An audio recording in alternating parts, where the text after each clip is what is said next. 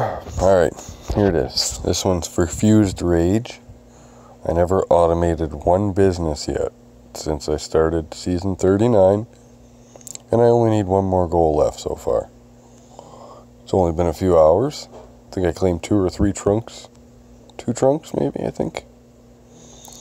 But yeah, doing pretty good so far.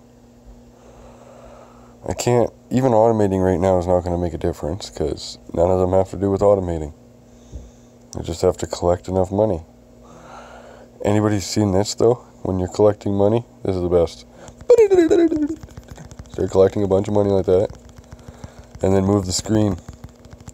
It's awesome. The money keeps doing it.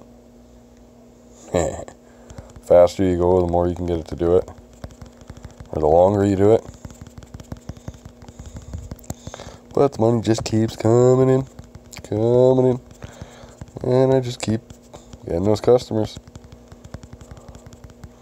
So really, from now, I just gotta wait for trunks. If I get one more hash coin, that'll help. But uh, thanks Fused Rage for uh, the idea, because it's definitely working. I just walked through season 39 like that. Just doing this. I'm gonna move the screen. Oh, it's not gonna do it.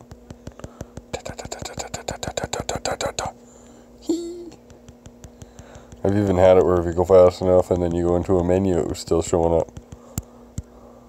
See? but anyways, thanks Fused Rage. It really does help if you don't automate any businesses. You can finish the season really quick when the money things pop up. Oof. I think I went bing, bink, and I was done every time. Two little business taps, and I was done the money challenges every time. So uh, keep that in mind next time you're playing a season. Try not to automate anybody. It does work. Uh, thanks for watching. If you liked the video, hit the button and hit that subscribe button for more because there's definitely going to be more videos. Zipkey out.